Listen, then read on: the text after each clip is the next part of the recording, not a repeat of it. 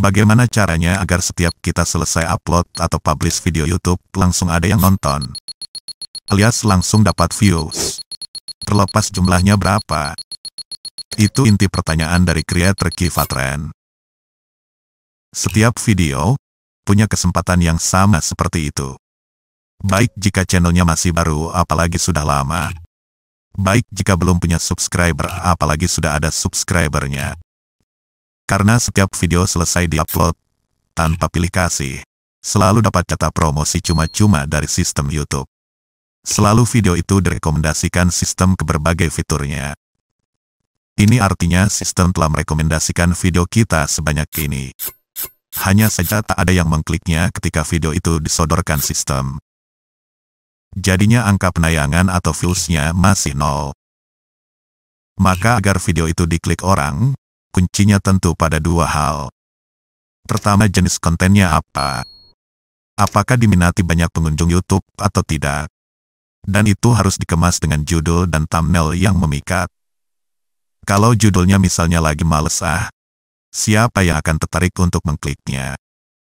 Kecuali kita seorang seleb atau public figure.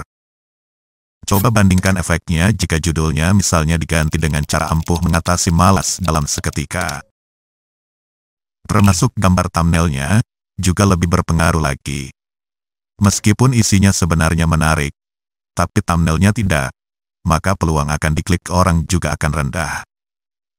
Lalu bagaimana jika channel kita sudah lama dan juga sudah punya sekian subscriber, tapi setiap selesai upload, tetap tak ada yang langsung nonton? Sebabnya bisa dua kemungkinan. Pertama subscriber itu didapat dengan cara saling sub dengan sesama kreator lain. Jadi motif mereka subscribe channel kita, memang bukan karena tertarik untuk nonton video-video kita. Kedua bisa juga, mungkin video-video kita tak menarik lagi bagi subscriber kita. Misalnya karena kualitasnya sudah menurun. Isinya hanya receh yang tak menarik, apalagi sampah yang tak berguna.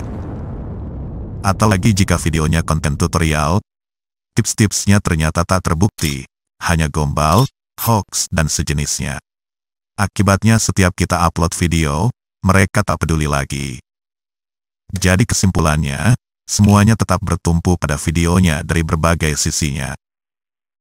Untuk jangka panjang tak bisa hanya mengandalkan salah satunya lalu mengabaikan sisi lainnya.